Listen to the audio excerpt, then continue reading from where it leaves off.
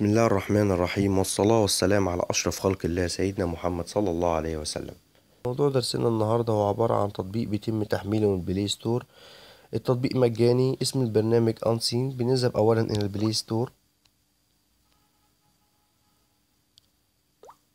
بنكتب اسم البرنامج Unseen البرنامج الأول هذا بيتم تحميله. أضغط عليه أضغط على تثبيت. أضغط على قبول.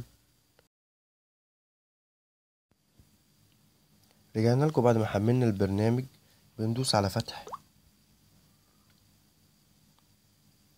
فتحنا البرنامج آه بنبدأ نسطبه نضغط على السهم الصغير في الأسفل.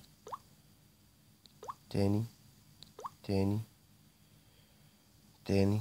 هو هنا بيقول لك اللي بيجيب لك آه السيم بتاع الفيسبوك والواتساب والفايبر والتليجرام. هنا بيطلب مننا الوصول لصلاحية الإشعارات أو أو التمكين من الوصول لصلاحية الإشعارات. بنضغط هنا آه في الأسفل على هذا المربع على enable. بنعلم على جنب البرنامج في المربع الصغير علامة صح. ندوس موافق. نرجع تاني. هذا هو البرنامج. البرنامج سهل جدا. آه هنشرح البرنامج ومميزاته. أولا إيه هو السين؟ السين هي الرسالة اللي بتظهر في الإشعارات في الهاتف. يعني مثلا لو حد بعت لك رسالة هتلاقي الرسالة ديت ظهرت هنا في الإشعارات. هوريك مثال. مثلا حد هيبعت لي دلوقتي رسالة على الواتس فهتظهر لي السين. السين. الرسالة اللي ظهرت دي هي سين. تمام؟ إيه هو البرنامج بقى؟ البرنامج ده عبارة عن إيه؟ هو بيخفي السين. إيه إخفاء السين؟ يعني لما حد بيبعت لك برن... رسالة وأنت بتقراها هو ما بيشوفش ان انت قريتها وده بيسبب مشاكل كتير جدا. ان انت دلوقتي ممكن حد يبعت لك رسالة وبتقرأ الرسالة وبعد كده يقول لك انت قريت الرسالة وبيحصل مشاكل ما بين الطرفين ان هو ما ردش عليه في الوقت وممكن يكونش فاضي. ممكن يبعت له بعد كده مثلا رسالة أو رد بس التاني بيحصل زعل أو مشاكل من الموضوع دوت. البرنامج دوت بيرفع عنك الحرج. دلوقتي أنا الرساله اتبعتت لي ديت أنا هقرأها دون علم الآخر. بمعنى دلوقتي الرسالة دي جات لي على الواتساب ديت أيقونة البرنامج بتظهر لما حد بيرسل لك رسالة اللي هو شكل الحد المتخفي دوت. أولا البرنامج مكتوب all message هنا بيظهر كل الرسائل إيه كل الرسائل الرسائل بتاعه الماسنجر والرسائل بتاعه التليجرام والرسائل بتاعه الفايبر والرسائل بتاعه الواتساب.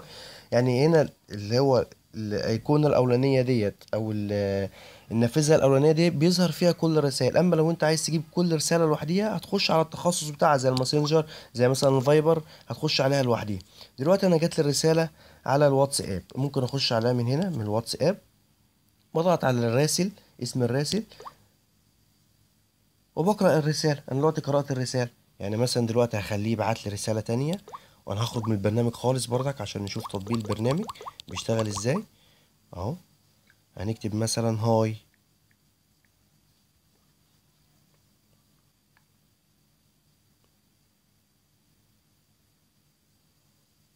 اهو أنا كده جات لي الرسالة.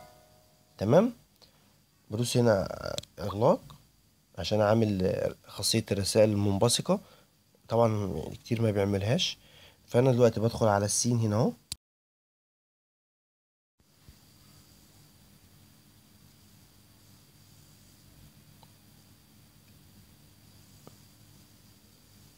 بدخل على الرسائل اللي جات لي. ممكن أخش على أول مسج زي ما قلنا أو أخش على الواتساب هنا على طول. وبفتح الرسالة بقرأها عادي.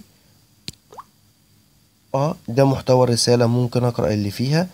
وبقرأ الرسالة والراسل ما بيعرفش أصلا إن أنت قرأتها. يعني ما بيجيلهوش علامتين الصح اللي بتظهر جنب الواتساب اللي أنت قرأت الرسالة.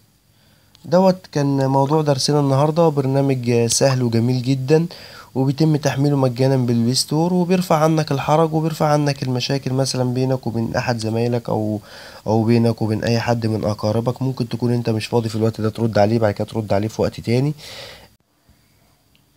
يا رب تكونوا استفدتوا من الدرس. استفيد بالدرس وفيد غيرك بالمعلومة.